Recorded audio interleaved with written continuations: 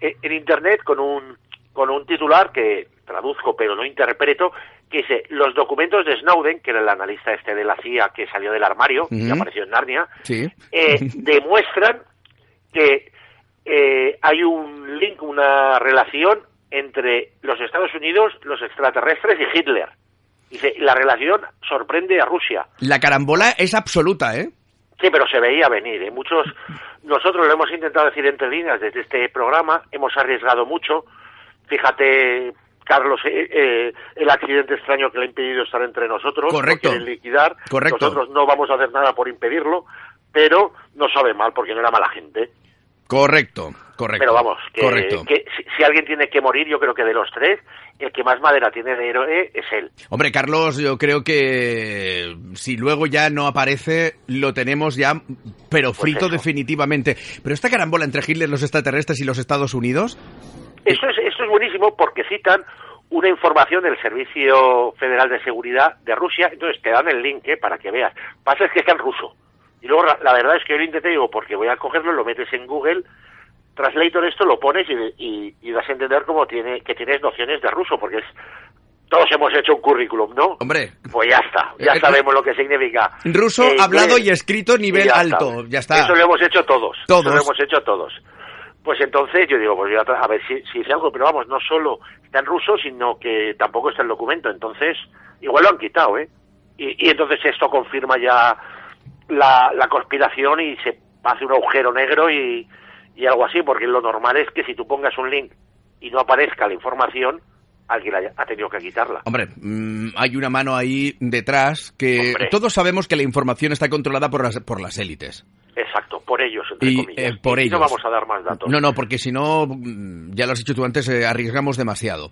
Exacto. Eh, y, y una élite de ese nivel, cuando ya ve links con informaciones tipo relacionando mm, Hitler, extraterrestres y los Estados Unidos, es que los han pillado. Entonces, Efectivamente. claro, quieren silenciarlo, pero a nosotros no podrán. Entonces, nada, se ve que el, el informe este dice que han tenido acceso a los cerca de dos millones de documentos clasificados que Snowden estuvo haciendo público a través de The Guardian y otros periódicos. Mm. Y entonces dice que en esos datos hay pruebas. Hay incontrovertible, o sea, pruebas que son cojonudas. pr- pruebas irrefutables. Y, y- buah, o más. De, de que le- hay una agenda oculta alien extraterrestre, que a mí me parece un poco redundante, porque aunque luego ves la tele y, pu- y puede que no, pero alien y extraterrestre para mí que viene a ser lo mismo, ¿no? Pero bueno, fíjate si será la agenda oculta que son alien extraterrestres. O sea, eso ya es muy misterioso. Eso añade misterio al misterio. No, desde luego. Nu- nuestro deber es informarlo.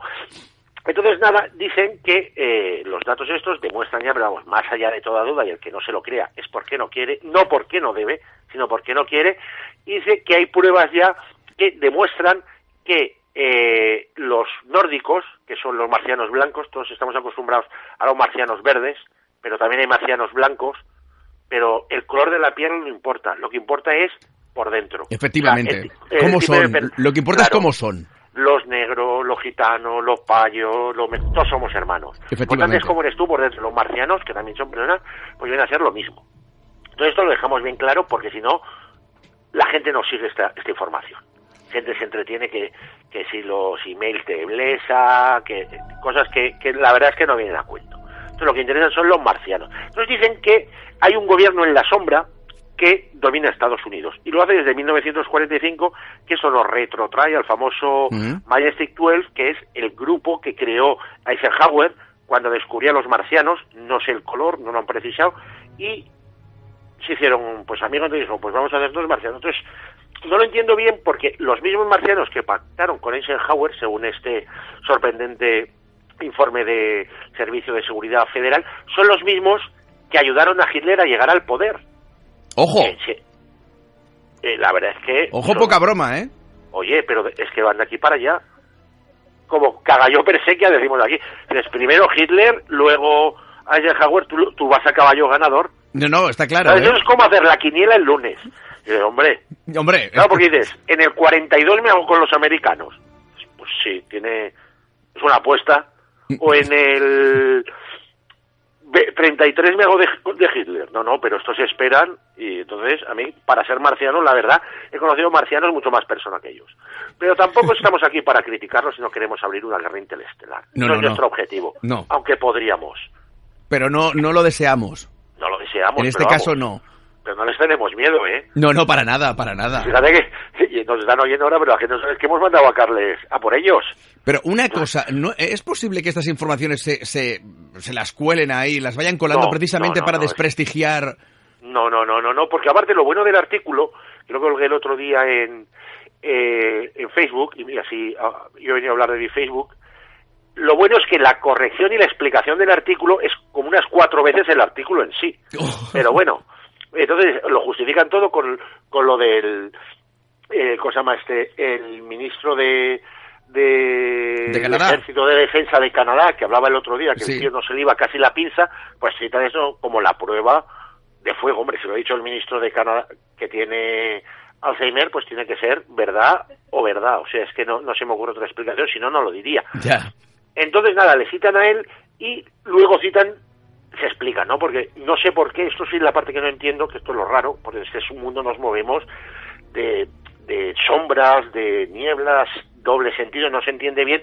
Por lo visto, eh, la agencia de noticias está haciendo el descojono general en todo el mundo por publicar estas noticias, que tampoco. Entonces dicen que esta, eh, para ver, para o sea, como bofetón, ¿os habéis reído de nosotros? Pues ahora nos rimos. Ahora, nos reímos. Ahora vais a ver. Y entonces han puesto su, su fuente, que es una página web que se llama What Does It Mean? O sea, ¿esto qué significa? Que es una página web de estas, pero eh, parece que esté hecho en front page, de estas del año del Catapum, que la lleva una tiparra, perdón, su Alteza Real Sor Chafal, ah, que, no sé que no lo conoces qué es, que se llama en realidad la hermana María Teresa, pero es la, la 73 Sor Chafal de la Orden de los Sor Chafal. Poca broma. Y esto, todo, perdona mi ignorancia, los estos son de Irlanda, ¿eh? de lo que viene a ser Irlanda. ah, vale, es lo que te iba a preguntar. El origen de los Orchafal, exactamente, ahora ya me lo has aclarado, irlandés. Eh, sí, entonces esto se creó en el año eh, 588. Ah, ah, todavía, no había internet, ¿eh? Porque luego la gente. No, todavía no había internet. Pero con el tiempo ya las 73, aunque la verdad es que deben ser bastante longevos los los reyes Orchafal, porque si hay 73 y estamos hablando de, desde el siglo VI hasta ahora, pues deben durar pues imagínate lo que dura esta peña. Si la verdad que un rey te dure 100 años, pues por lo menos te hace papel. No, porque ahora, yo por ejemplo, los reyes que tenemos ahora parecen del todo allí de la esquina. ¿Es posible que Juan Carlos sea un sorchafal? Pues a lo mejor, o a lo mejor es un, un marciano blanco. Vete tú a saber, ¿eh?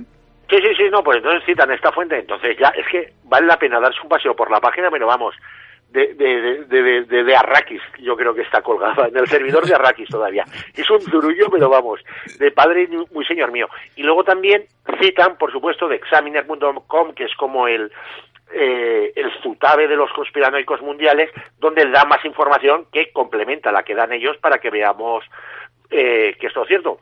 Entonces también al pobre Snowden, que no, no ha dicho nada, citan una entrevista que hizo en The Guardian, pero que la publicaron en, en Internet, en el que habla de que los gobiernos no se espían, pero ellos se han dado cuenta porque estos no oyen, estos escuchan, ¿sabes? No como ahora que todos están efímeros, estos estaban, entonces lo que está diciendo en realidad es Snowden que los que dominan son los marcianos. ¿Por qué? A mí no me lo preguntéis, pero ellos lo dicen.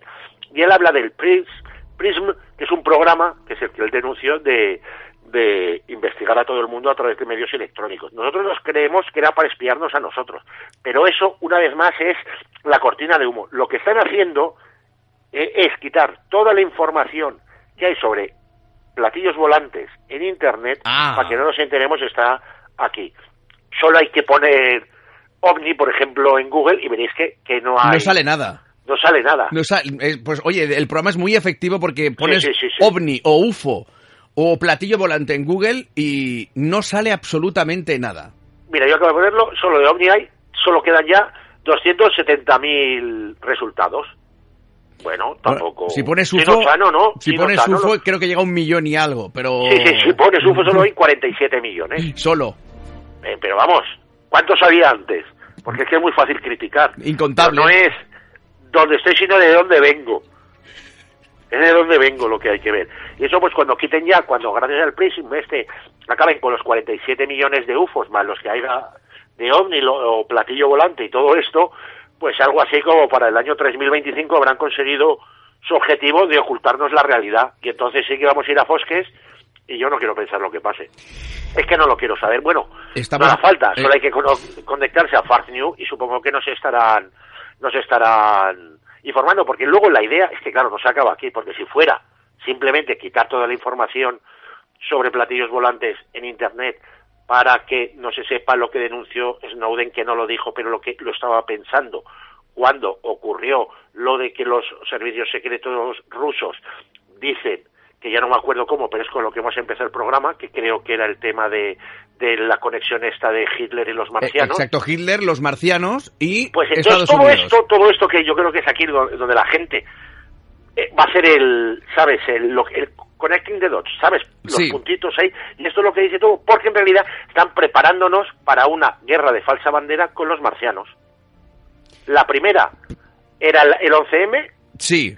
Luego hay otra que era también, era, no, era la segunda. No, está, la, primera... La, primera del comunismo contra el capitalismo. Ahí vamos. Una, la segunda era la guerra del terror. La tercera, que digo yo que será la que estamos ahora, por eso que dicen que, que, que es la guerra contra los asteroides y los objetos cercanos a la Tierra, esto es fácil porque no se pueden defender. Luego, lo, lo malo es que, como son tercos, y te pillan, te pillan. Y ya la última es la falsa guerra contra las civilizaciones extraterrestres. ¿Qué pasará entonces? Es lo que yo no entiendo. Pero... Eh, Esto pinta mal, ¿eh? Tú me has seguido, tú, has, seguido, tú has seguido la evolución del programa, ¿no? Yo, sí, yo voy, eh, eh, confesándotelo con esfuerzos, voy siguiendo un poco la trama. ¿Y tú ves? Porque la trama, en fin, es harto complicada pero al final, cuando entiendes que, que van a declarar la, la guerra de falsa bandera contra los asteroides... Ahí vamos, cuando ya desembocamos en, una, en una guerra de falsa bandera contra una civilización extraterrestre o asteroides u objetos que orbitan la Tierra, pues aquí es donde ya dices, ya está, ahí vamos. Ahora lo, entiendo, ahora lo entiendo todo, toda la manipulación enorme y, y, bueno, gracias a esta agencia de noticias que, que bueno, se la han jugado. Se la han jugado, se la han jugado muy bien, pero vamos, claro, se han aprovechado eso de que en Occidente, y esto lo denuncian y hacen bien, hay censura, entonces aprovechan las ventajas del... que me risa solo de pensarlo, pero no es por esto, ¿eh? Las ventajas del sistema iraní, que hay más libertad, ¿sabes? Ahí se, se vive bien. Claro. Que tampoco hace mucho calor. Bueno, depende. no, pero vamos. Es un lo que, así... lo que viene a ser Teherán, pues es, un clima más o menos mediterráneo, se vive bien.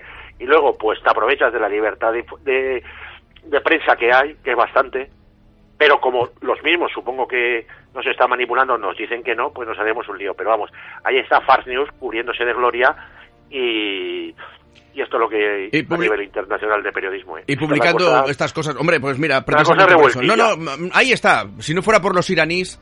Joder, ¿dónde mm, estaríamos? Y esa libertad de prensa, no sé dónde estaríamos gracias a este tipo de informaciones que nos desvelan que esa cúpula no solamente nos controla, sino que coloca los líderes que les conviene en el poder Ahí estamos. ¿Eh? no olvidemos Hitler, Eisenhower, y además manipula a la opinión pública para declarar guerras de falsa bandera. Contra asteroides. Y la que viene, contra los asteroides. Ya te digo. Javier Cabanillas.